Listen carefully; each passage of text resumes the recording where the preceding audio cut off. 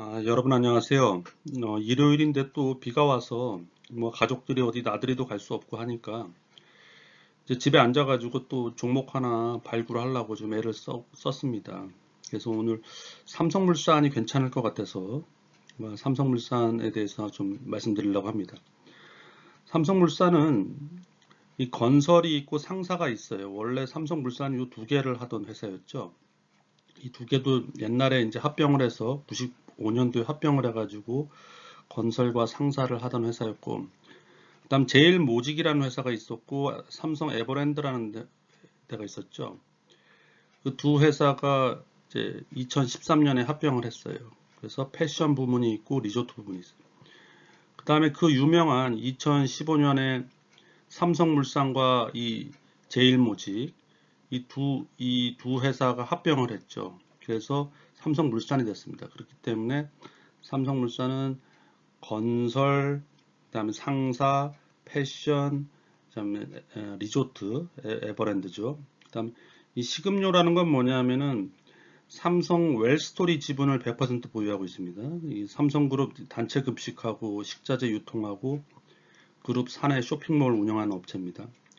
그리고 바이오는 뭐냐 하면은 이제 삼성 바이오로직스 지분을 43% 물고, 들고 있기 때문에 이거는 연결 대상이 돼서 매출에 잡힌단 말이죠. 그래서 작년 기준으로 보면은 30조 매출을 했는데 그 중에 건설이 한 12조, 상사가 13조, 다음 패션 뭐 이런 것들이 뭐 1조에서 2조 왔다 갔다 하네요. 그러니까 건설과 상사가 큰 매출을 차지한다 이렇게 보면 될 것 같습니다. 그런데 이제 삼성물산은 지주사 역할을 하고 있죠. 삼성물산이 이제 들고 있는 지분을 보면은 삼성 바이오로직스 43%를 들고 있고 삼성전자의 5%를 들고 있고 삼성생명의 19%를 들고 있어요. 근데 삼성생명이 다시 삼성전자를 8.5%를 들고 있기 때문에 삼성물산은 이제 애널리스트들이 다 지주사로 분류해서 분석을 합니다. 뭐 하여간 뭐 이 지배 구조가 하도 복잡해서 뭐 삼성 임직원들도 잘 모를 것 같아요. 자, 삼성물산의 주가를 보면은 올해 초에 한 16만 원까지 찍었다가 계속 하락했다가 이제 3월부터 이제 상승 추세로 갔다가 지금은 13만 원, 14만 원대에서 어 그냥 횡보를 하고 있습니다. 한 달간. 그래서 삼성물산 관련해서 애널리스트 리포트가 이번 주에 한, 하나 나왔는데 5월 11일 화요일 날 나왔습니다. 목표 주가를 20만 원으로 제시하고 있고 기존에 19만 원에서 상향을 시켰어요. 자, 엊그저께 금요일 5월 14일 종가가 14만 원이고 그러니까 상승 여력이 한 43% 있습니다. 이 증권사 애널리스트 의견은 21년 올해는 이제 상사, 패션, 뭐 리조트, 그다음 식음료 이런 것들이 다 경기 민감 사업부들이 란 말이죠. 그래서 회복세를 이어갈 전망이다. 그리고 지금 연결 회계로 들어가 있는 자회사인 삼성 바이오로직스 3공장 가동이 본격화되면서 바이오 부문도 고성장할 거다 그러고요. 그 다음에 건설은 상당히 안 좋게 봤는데 실제로 1분기에 대규모 수주를 달성함에 따라 올해 이제 매출과 이익 모두 성장이 예상된다. 그래서 삼성물산 목표 주가를 19만원에서 20만원으로 상향 조정했다. 뭐 valuation 방식은 뒤에서 다시 설명드리겠습니다. 그래서 이 A증권사의 올해 그 삼성물산의 매출액은 32.5조 어, 정도고 영업이익은 한 1.2조 순이익은 1.7조 그래서 주당 순이익은 한 8,918원입니다. 현재 주가가 14만원이니까 8,918원을 봤을 때는 지금 퍼 15.7배에 거래되고 있는 거고 지금 이 A증권사가 목표 주가로 제시하고 있는 20만원을 기준으로 한다 그러면은 PER가 22.4배까지는 받아, 받아야 된다 이런 뜻이겠죠. 구체적으로 이 A증권사가 어떻게 valuation 했는지 한번 볼게요.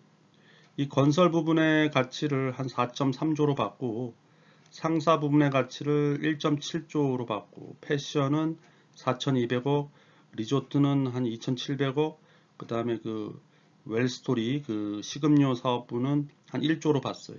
이게 다 노플랫이라는 건 이제 net operating profit less adjusted tax 해가지고 그러니까 세후 영업이익을 얘기합니다. 거기에 10.3배 뭐 이런 동종업의 그 배수를 적용한 거겠죠.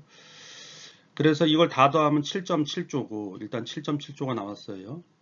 그 다음에 보유하고 있는 삼성전자, 삼성생명, 삼성바이오로직스 이런 것들의 시장 가치가 있잖아요. 지금 거래되고 있으니까.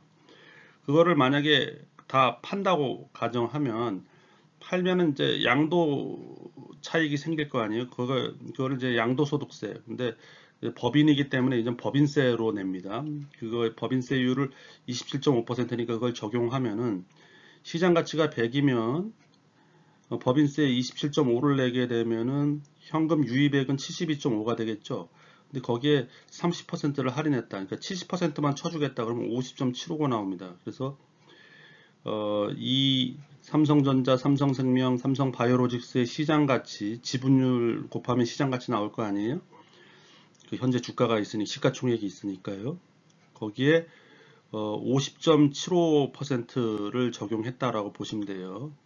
그러니까 한 반 정도만 가격을 가치를 쳐줬다. 그러면 27.6조가 나옵니다. 이거 두 개를 더하고 거기서 순차익금 빼주고 그 다음에 어, 자사주는 또 더해줬어요. 자, 자사주도 어, 법인세를 고려했고 그 다음 30% 할인을 해서 70%만 적용했습니다.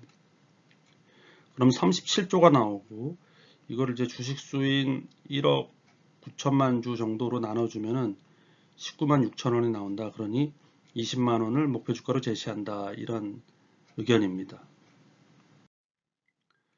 자, 삼성물산 공매도 추이를 보고 가시죠. 5월 3일부터 공매도가 시작됐으니까요. 공매도가 차지하는 매매 비중은 거래량에서 차지하는 매매 비중은 뭐 그다지 높지는 않습니다. 다음 공매도 평균가는 뭐 13만 한 5천 원 정도 되겠네요. 자 마지막으로 어, 투자자별 매매 동향을 보면은 뭐 크게 어떤 주체가 어, 지속적으로 산다라는 건 패턴은 보일 수가 없는데 지금 어, 그저께 금요일 날한 한 5.6% 정도 많이 올랐단 말이에요. 그때 외국인이랑 기관이 많이 샀어요. 그 연기금도 많이 사고 뭐 사모펀드도 사고 투신 그래서 기관과 외국인이 금요일 날 많이 사서 5.6%나 오른 것 같습니다. 예, 오늘은 또 하나 종목을 좀 발굴해 보고자 해서 찾아보다 보니 삼성물산에 대해서 좋게 보는 리포트가 나와서 저도 한번 월요일날 어, 뭐 분할 매수 관점에서 조금씩 어, 사볼까 생각 중입니다. 예, 여러분들도 투자에 참고 부탁드리고요. 예, 오늘도 유익하게 보셨기를 바랍니다. 감사합니다.